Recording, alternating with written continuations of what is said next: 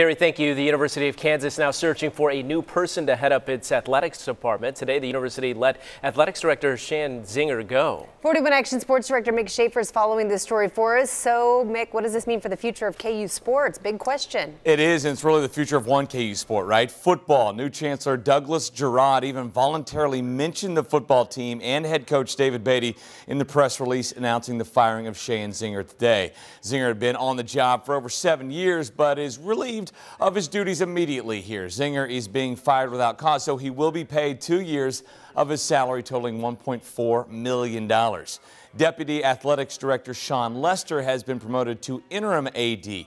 KU enlist former interim AD Drew Jennings and Jed Hughes to lead the search for Zenger's replacement. Hughes was part of the Chiefs' search for head coach Andy Reid.